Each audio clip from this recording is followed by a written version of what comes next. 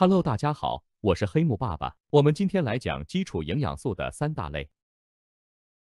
巨量营养素，顾名思义，巨量就是需要较为大量，意思是人体所需要较多这些营养素。这类营养素能提供身体热量，维持人体器官等等正常运作，也是构成身体细胞组织的主要成分。人体所需要的巨量营养素的需求量是以克计算。巨量营养素包含有蛋白质、糖类。脂肪，每一种巨量营养素对身体健康都有不同作用。巨量营养素可提供人体热量，糖类和蛋白质每克约可提供四大卡热量，脂肪每克约能提供九大卡热量。巨量营养素之间是可相互转换的，糖类可以转换为脂肪或是氨基酸，过多的糖类或者氨基酸也能由肝脏重新转换为脂肪。但无论是脂肪又或是糖类，都不能够转换成为蛋白质。所以，巨量营养素里蛋白质是非常重要的一部分。因此，不会有任何一种增肌或减脂的方式会说不要吃蛋白质。增肌或减脂时，也都需要知道该如何分配营养素，也能说是应该如何分配巨量营养素的摄取量。首先，应该从蛋白质开始，因为蛋白质是肌肉生长当中最为重要的营养素。每一个人需要的蛋白质、糖类。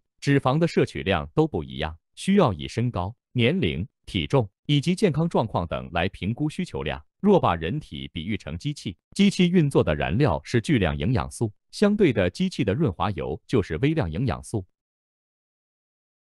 微量营养素也称之为微营养素，就是指需求量相对较少的营养素，但对维持正常生理功能有重要作用的营养物质。主要包含维生素与矿物质两大类，身体是无法自行合成的，因此也被称为必需营养素。微量营养素需要从食物中获取，但是食物中含有的微量营养素含量都不同，所以需要吃较多种类的食物，才能获得较为足够的维生素和矿物质。平时适当摄取微量营养素，对于保持健康状况是非常重要的。因为每种维生素和矿物质对身体都有其不一样的作用，但是会受到年龄、压力以及健康状态影响所需要的量。虽然微量营养素需求量比较少。却也是调节身体机能非常重要的营养素。相对于巨量营养素，人体需要较少量的微量营养素，这就是为什么这些营养素被标记为微量的原因。但是人体每日需要二十种以上的维生素与矿物质，这些微量营养素并不能提供热量，因此与巨量营养素有互补的现象。微量营养素能维持正常生理功能，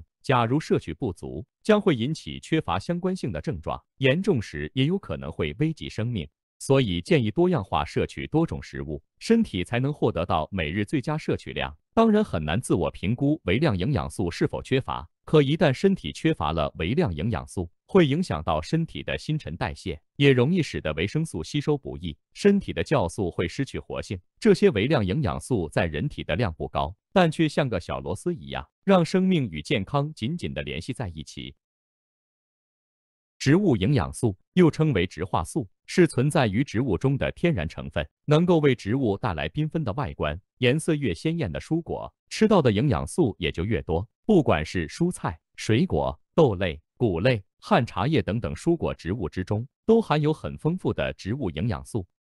植物和蔬果中的植物营养素是纯天然的抗氧化剂，能够减少自由基对细胞与基因的伤害，也能帮助人体抵抗氧化的能力，进而预防疾病的发生。部分植物营养素能与病毒颗粒结合，预防病毒结合人体细胞。如果能够均衡摄取较多种颜色的植物中所含丰富的植物营养素，可以提升人体生理机能，预防或改善疾病。强化抑制癌基因的活性，进而减低致癌基因外在表现，也能够预防癌细胞的生成，降低罹癌等等风险的发生。